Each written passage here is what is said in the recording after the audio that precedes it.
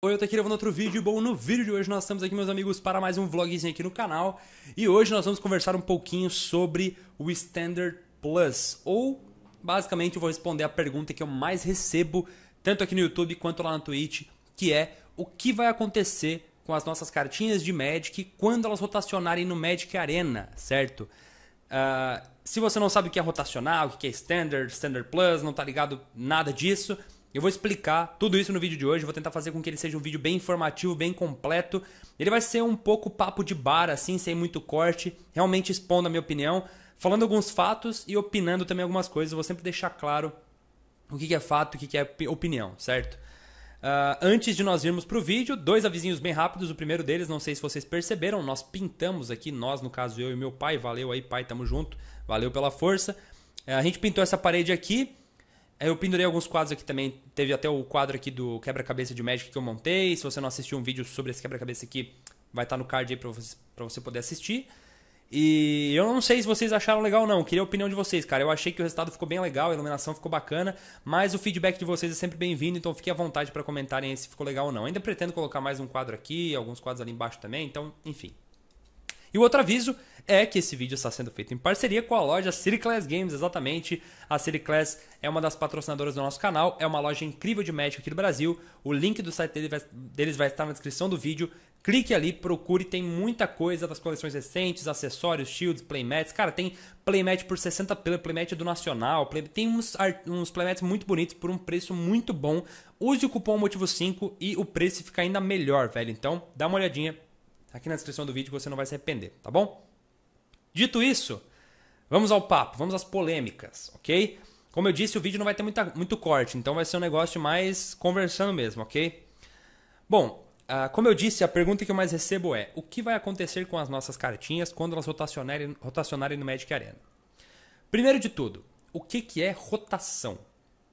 No Magic nós temos dois tipos de formato, certo? Dá para dividir formatos em duas, duas, formatos construídos em dois tipos um formato que é eterno e um formato que não é eterno, ou que é um formato rotativo, ou um formato que rotaciona. O formato eterno, como o nome já sugere, ele é eterno. Ele é para sempre. Ele não rotaciona. Sempre que tem uma coleção nova no jogo, ela vai fazer parte daquele formato. Então você tem, por exemplo, aí o Modern, certo? Formato moderno. Todas as cartas a partir de oitava edição, que são cartas do que são publicadas em edições regulares, elas são válidas no Modern, com exceção de algumas cartas banidas. Ou seja, sempre que uma coleção é lançada, uma coleção standard é lançada, ela faz automaticamente parte do Modern. E nenhuma outra coleção deixa de fazer parte por causa disso. Em contrapartida, nós temos os formatos que são rotacionados, tipo o Standard. O Standard é o formato que rotaciona. Ou seja, à medida que coleções novas vão sendo adicionadas, coleções antigas vão deixando de fazer parte do formato. É, tem um sistema de blocos e não é tipo lançou uma, a outra não faz mais parte. É, depois de um tempo eles vão rotacionando, mas é um formato que vai andando. Então as coleções antigas vão deixando de fazer parte dele à medida que novas coleções vão sendo lançadas, ok? E a questão principal é que no Magic Arena o único formato construído que nós temos que é fixo é o Standard, é o formato padrão. E lá nós teremos no futuro um probleminha que é o que vai acontecer com as nossas cartas quando o formato rotacionar. Em outubro, se não me engano, nós teremos uma nova coleção sendo lançada e essa vai ser a coleção que vai ser divisor de água porque ela vai fazer com que algumas coleções antigas caiam, ou seja, elas não fazem mais parte do standard. Ixalan, rivais de Ixalan, etc., não farão mais parte do standard. E aí fica a dúvida. E as minhas cartinhas de Ixalan e de rivais de Ixalan, por exemplo? O que que... Eu vou deixar aqui na descrição do vídeo, inclusive, um site chamado What's in Standard, que é um site que mostra tudo que está no Standard hoje e quando elas vão deixar de fazer parte e quais novas coleções vão surgir no futuro, tá? Para você olhar aqui, porque dependendo do dia que você estiver assistindo esse vídeo, talvez as coleções que eu fale que vão cair já caíram ou não caíram ainda e tal, enfim. E vamos supor que eu tenha cartinhas de Ixalan. O que, vai acontecer com elas quando elas não forem mais parte do Standard? Elas vão ficar pegando poeira no meu, na minha coleção, não vou poder usar para nada eu vou poder substituir elas por alguma outra carta, eu vou poder vender elas por gold, o que, que vai acontecer? Bom, é aí que entra uma notícia, um artigo que saiu no site Screen Rant há um tempo atrás. Nós não tínhamos informação alguma sobre o que, que ia acontecer com as nossas cartas quando o formato rotacionasse. Mas a Elaine Chase, também conhecida por vice-presidente do departamento de esports da Wizards of the Coast, uma pessoa importante, ela deu uma entrevista para o Scream Rant e nessa entrevista ela falou o seguinte, certo? Em tradução livre aqui. A nossa intenção com certeza é fazer um formato Standard Plus no Magic Arena. Nós não temos nenhum detalhe para compartilhar sobre ele nesse momento, mas não se preocupem, os jogadores ainda poderão usar suas cartas quando o formato rotacionar. Esse Standard Plus seria um formato padrão um pouco maior, provavelmente um formato eterno. Com base nessa citação, a quantidade de teorias e discussões que isso gerou é absurda. E eu vou tentar cobrir as mais importantes delas aqui, ok? Bom, primeiro, esse Standard Plus vai ser um formato que rotaciona ou vai ser um formato eterno? Agora é minha opinião, ok? Na minha opinião, será um formato eterno. Qual que é o problema de você fazer um Standard Plus que rotaciona? O mesmo problema do Standard. Ele rotaciona, você não quer que depois de. Não interessa se daqui seis meses minhas cartas tornaram inúteis. Não adianta você resolver esse problema e fazer com que elas se tornem inúteis daqui um ano e meio ou daqui quatro anos. Uma hora elas se tornarão inúteis. Então você não está resolvendo o problema, você está apenas adiando o problema. E não é isso que eles querem e não é isso que nós queremos. Eu não quero que minhas cartas tenham dias contados. Ponto. Então eu não acredito que será um formato que rotaciona, a menos que eles adicionem alguma outra coisa. É possível que eles façam um outro formato que rotaciona, mas teria ter, teria que vir junto com alguma outra coisa. Uma forma de, de fazer minhas cartas por gold ou de trocar minhas cartas por cartas novas, alguma coisa do gênero, certo? A outra alternativa é eles fazerem um formato eterno, que é o que eu acho que vai acontecer. Qual que é o problema de fazer um formato eterno? Para mim, nenhum. Para você, dependendo de quando você começar a jogar, pode ser um problema. Veja bem, eu jogo o Arena desde o Closed Beta. Eu fiz parte das pessoas que jogaram no beta fechado. Assim que lançou o Open Beta, eu investi muito dinheiro no Magic Arena. Porque eu produzo conteúdo para vocês, preciso ter uma variedade de decks grandes e tal, não sei o que, investi muito dinheiro ali. Muito dinheiro não, vai. Investi uma grana considerável. E eu tenho quase todas as cartas do jogo, certo? Tem bastante coringa tal, não sei o que. Mas, mesmo assim, quando o formato rotacional, eu não quero que minhas cartas de Salan não sejam mais úteis, certo? Se eles criarem um formato eterno em que elas sejam úteis, eu vou estar de boa. Porque eu tenho bastante cartas de Xalan, Rivés de Xalan, Dominária, M19. Agora, você aí que vai começar a jogar daqui um ano e meio, por exemplo, você não vai ter as cartas de Xalan, Rivés de Xalan, né? E aí, como é que a gente faz? Você vai ter que comprar boosters aleatórios de coleções, tipo de 10 coleções atrás, para abrir uma carta que você quer? Talvez não faça muito sentido. Você vai gastar suas cartas coringa nas cartas antigas para montar um deck que você quer? É uma opção, só que aí você não vai ter cartas coringa para gastar para seus decks standard. Aí você vai ter que comprar mais boosters, o que talvez seja bom para Wizards, não sei.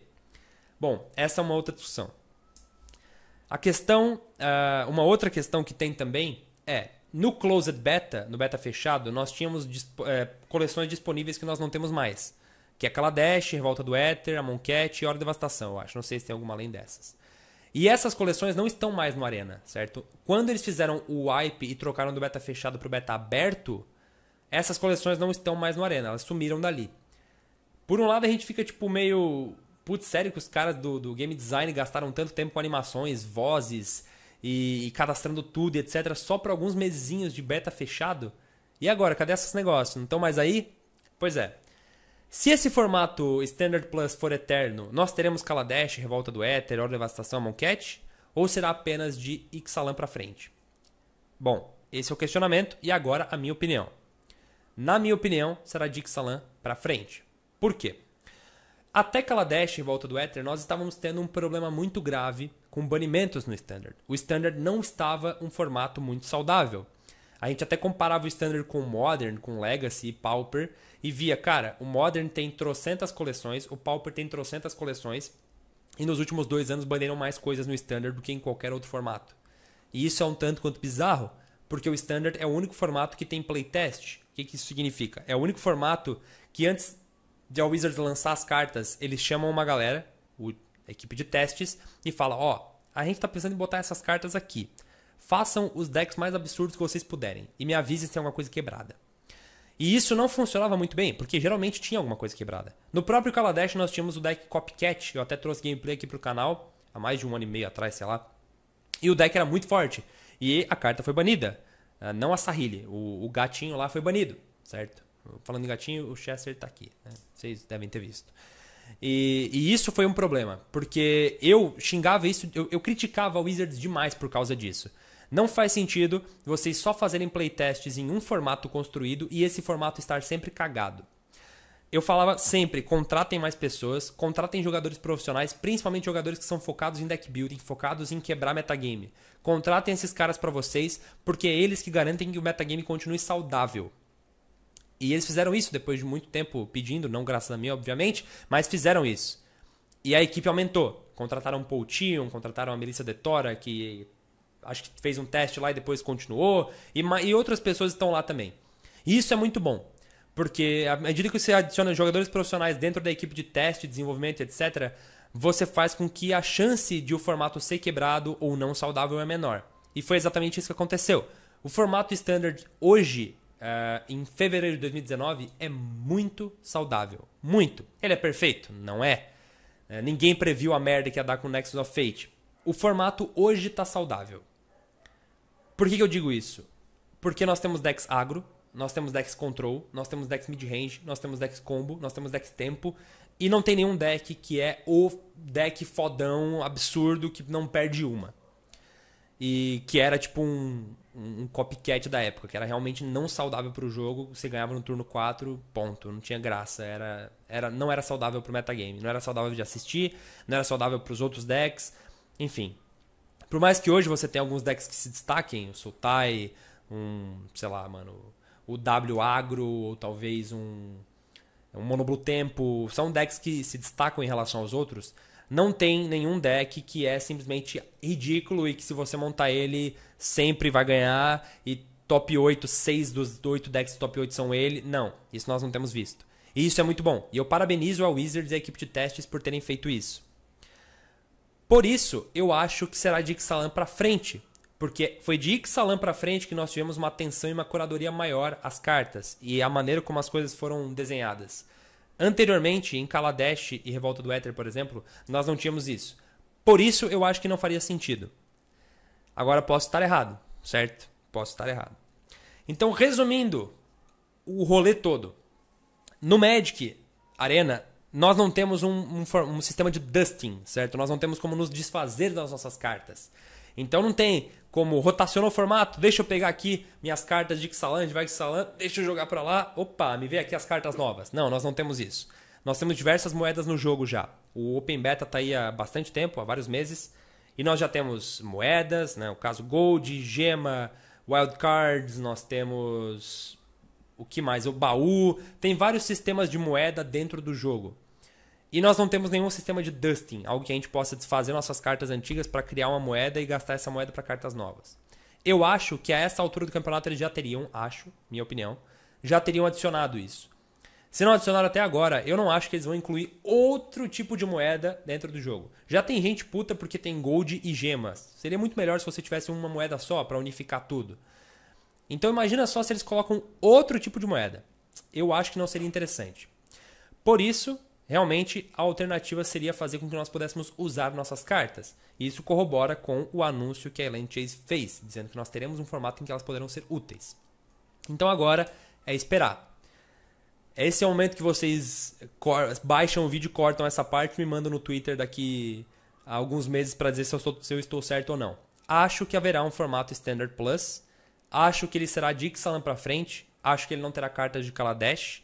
E eu não acho que será incluso nenhum sistema de dusting no jogo. Essa é a minha, uh, a minha visão, certo? Posso estar certo, posso estar errado, não ligo se eu estiver errado também. Eu só quero que o jogo esteja saudável e bom e divertido de jogar. Às vezes o que eu estou prevendo agora seja uma péssima atitude para o jogo. E o melhor que eles podem fazer é criar um sistema de dusting, uma moeda a mais. Sei lá, eu não sei. Eu não sou especialista em game design. Mas enfim, essas são as opiniões e fatos que eu queria trazer para vocês no vídeo de hoje, para vocês entenderem o que está acontecendo, ok? Desculpa se o vídeo ficou meio maçante, é, meio falando, falando, falando. Eu tentei não perder o fio da meada. Foram mais de 15 minutos tentando explicar para vocês o meu ponto de vista. Eu espero que ele tenha sido útil para vocês de alguma forma. É óbvio que vocês podem é, e talvez até devam discordar de mim. O mundo vai para frente quando as pessoas discordem, quando as pessoas discordam. Então, por favor, considere deixar um comentário aqui embaixo explicando por que você discorda de mim. Você não precisa deixar um dislike nem nada. A gente pode conversar, esse vídeo continua nos comentários, tá bom? Vamos conversar de forma sadia e entender de fato o que, que vai acontecer no futuro desse joguinho que a gente gosta tanto, tá bom? Então acho que é isso. Muito obrigado por terem assistido, pessoal. Eu espero que vocês tenham curtido aí o vídeo de hoje. E eu acho que é isso. Se você não deu uma olhadinha na City Class ainda, dá uma olhadinha aqui embaixo. E todas as redes sociais do canal estão aqui embaixo também, tá bom? Eu acho que é isso. Abraço, falou! Esse vídeo foi feito em parceria com o site Burn Mana. Lá você cria uma conta, cadastra suas cartas e negocia com jogadores do Brasil inteiro. Além disso, se você não tiver tempo ou condições de catalogar carta por carta, você pode mandar tudo para eles e eles fazem isso para você. Eles têm um serviço de curadoria sensacional. Mais informações na descrição do vídeo.